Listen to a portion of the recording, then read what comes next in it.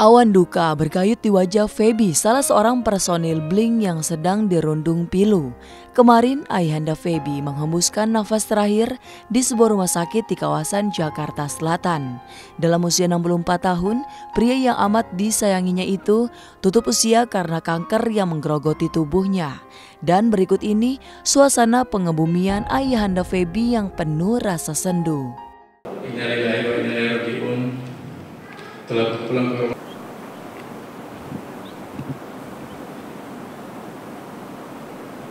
الله أكبر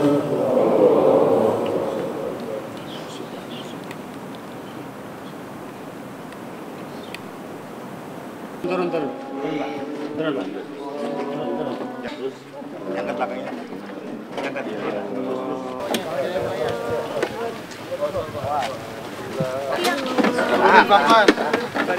Angkatin untuk kembangan dulu, bunganya diangkat. peluk ya peluk Gini, yang kanan di bawah ya, yang tangan kanan di bawah. Awas, megangnya bentar, bentar. Palanya udah di Nah, masih jauh kalau pondok gede ini pondok anggur. kan lagi anu kecil.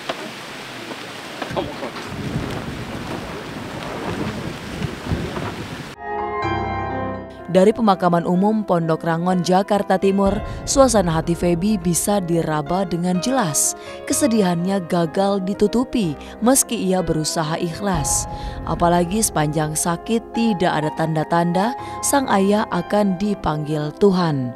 Kepadanya pun tidak ada firasat yang dititipkan sebelum pria yang disayanginya itu menghembuskan nafas terakhir.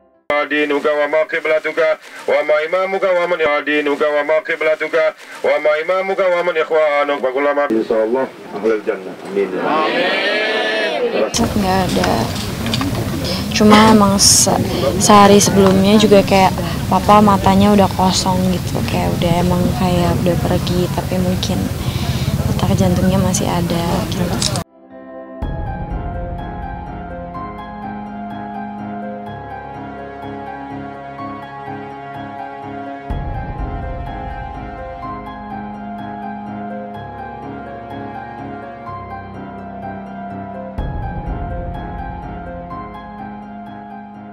Tapi apa sesungguhnya penyakit ayahanda Feby?